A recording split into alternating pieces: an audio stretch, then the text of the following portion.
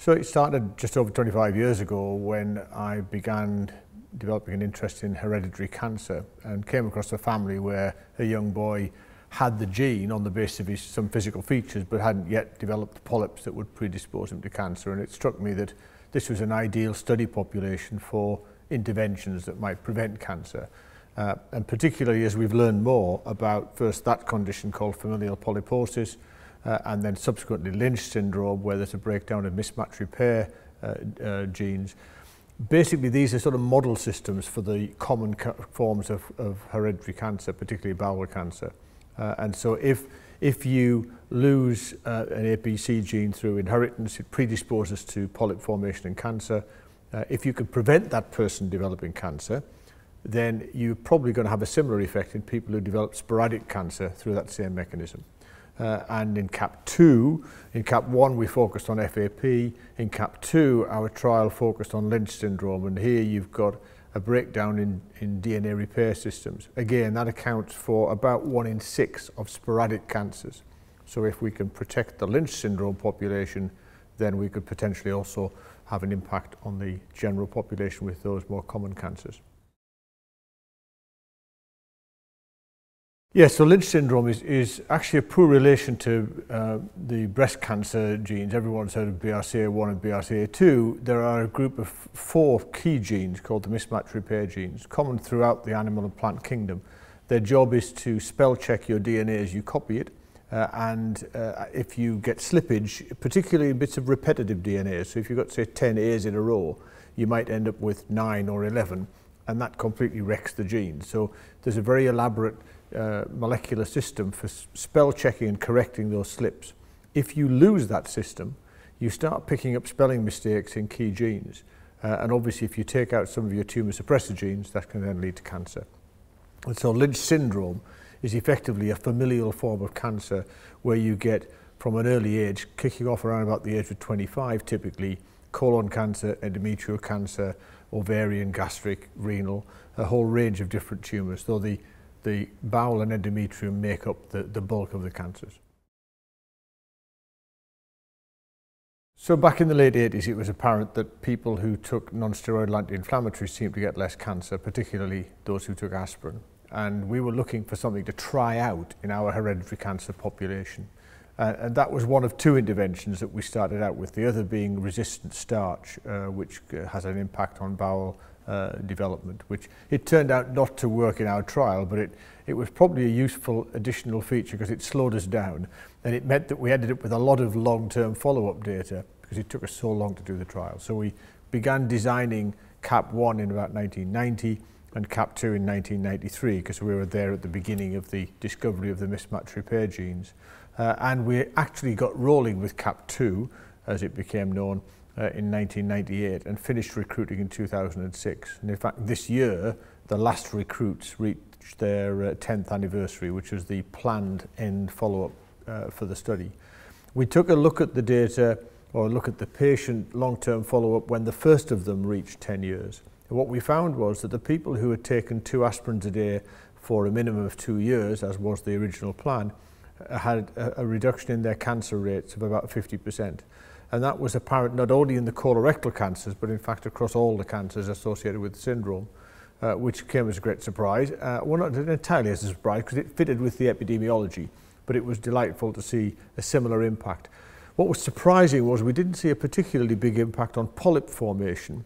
So at the end of the treatment phase, we were uh, a bit demoralized because we expected there to be a reduction in the number of polyps as well, and that, that wasn't apparent. We now think what's happening in Lynch syndrome is that you're probably getting a progression down a slightly different pathway to that which we've become used to, where people generally think of polyps forming, taking several years to eventually become a cancer. What probably happens in Lynch syndrome is you get loss of mismatch repair function in the crypts, in the lining of the colon, and then they accumulate mis mistakes in stem cells, which then pretty very rapidly progress to become malignant cells and effectively emerge as cancers. They then take a long time to, to metastasize because one of the effects of this uh, mechanism is you tend to lose key genes like B2M, which are critical for your HLA expression. Now that's quite useful in terms of local tissue expansion, But if you try and metastasize, you get picked up by the state police, the T killer cells, and they don't like cells without HLA types, so they're taken out. So basically, these cells become cancers, then sit around for a long time as a cancer. Uh, and it seems that the aspirin is having a fairly dramatic effect on that process. But what, again, this dramatic thing we're seeing with the Lynch syndrome patients, as indeed has been seen in all the epidemiological studies of aspirin, is there's some kind of delay from when you start taking the aspirin to the beneficial effect, about a three to five year gap. So what we think is probably happening is that the aspirin's having an impact on, on apoptotic mechanisms in terms of aberrant stem cells, that it's helping you to take out the cells that will become cancer one day. It's also probably having a direct effect on other mechanisms like new vessel formation uh, and the direct immunological response to the tumour itself. So it's a kind of dirty drug that's hitting the system at multiple different levels. Uh, and what's really fascinating in a way is that we've found this effect and now we have to work out the explanation. It's like the old Hitchhiker's Guide to the Galaxy. You know, the, life, the, the, life, the, the answer to life, the universe, and everything is 42. Now work out the question. So we know that aspirin prevents cancer, but we still don't actually know why. Uh, and that's really quite challenging because without knowing the mechanism, we can't think about interactions and so on with other drugs. We can't think about whether we can change the dose. So in CaPP3, we're testing three different doses, and that trial started last uh, two years ago almost, uh, and we're up to 776 recruits of the minimum 1,500 that we need. And what we're doing in CAP3 is randomizing people to receive either the 600 milligrams we use in CAP2, 300 milligrams, it's one standard aspirin a day, or 100 milligrams of enteric coated which is the, the sort of cardiovascular baby aspirin. And the idea is to look at those three doses and look at enough people over a period of five years to see whether taking two aspirins a day gives you the same level of protection or a greater level of protection than taking a baby aspirin or the intermediate dose. Clearly, if we can demonstrate that the baby dose has as big an effect on cancer protection uh, or prevention as the two aspirins a day, we can move to the safer, lower dose uh, in terms of population treatment. So it'll add to the case for general use of aspirin as a cancer preventive. But particularly, we can then go for a, a big push to get people with this hereditary predisposition uh, and other people with a high risk to take aspirin as a routine standard protection. Well, I think if you, if you look at the epidemiological and now clinical trial data, our CaPP2 trial and the Women's Health Study, which also used cancer as an endpoint and which on review showed a beneficial effect of low-dose aspirin from 10 years onwards.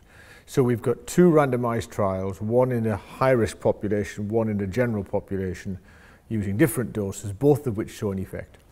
So to be honest, the evidence is now dramatically stronger for using aspirin than it is for using colonoscopy, uh, which we all just accept is the right thing to do for people who are at increased risk of bowel cancer. So I think the answer is we should be using it. We need to repurpose aspirin. The problem is that the legislation is such, has been such that it's very difficult to get a drug repurposed. Uh, it's, it's one thing to take it through for a license for one application, but if it's already got a license and it's already off patent, there's no one stimulated to actually get it a, a license for another use. But we're hoping to take advantage of the recent legislative changes in the UK for innovative drugs, uh, which will allow us to potentially get aspirin repurposed. In the meantime, we've already got a recommendation from our uh, European uh, hereditary tumour group, which I'm a member, that aspirin should be drawn to people's attention with Lynch syndrome. Uh, and similarly, the American Gastroenterological Association have now uh, recommended that uh, aspirin be uh, offered to people with Lynch syndrome, accepting that the evidence is quite weak because we only have one randomized trial, but given the rarity of the condition, that's pretty good to have even one randomized trial. And it's not actually it's not that rare. We think probably about one in every thousand people will manifest Lynch syndrome. Uh, so that means that you know in a population like of, our size, that's 60, 70,000 people. It's not a trivial condition in its own right. Uh, so I think we should be pushing ahead with using aspirin now in that highest risk group But I think one could take a, as a reasonable guide, given that the side effects of aspirin in a non-frail population are about the same as the side effects of colonoscopy. So in other words, your risk of getting a serious bleed or a perforation or a death from a colonoscopy, small but real, is about the same as a, an ulcer or an intracranial bleed associated with aspirin. It's about one in 10,000 people which is not to be ignored, but it, if you are at a high risk of cancer, it's a risk you may well be prepared to take. And I think that if someone is, is worthy of having colonoscopy regularly, then there's a very powerful argument for saying that the similar case could be made for giving them aspirin uh, and certainly making them aware of the beneficial effects. It's still really quite hard to break through the old thing that it's, it's, it's what we think we know already that prevents us from learning, uh, as Claude Bernard, the physiologist, once said.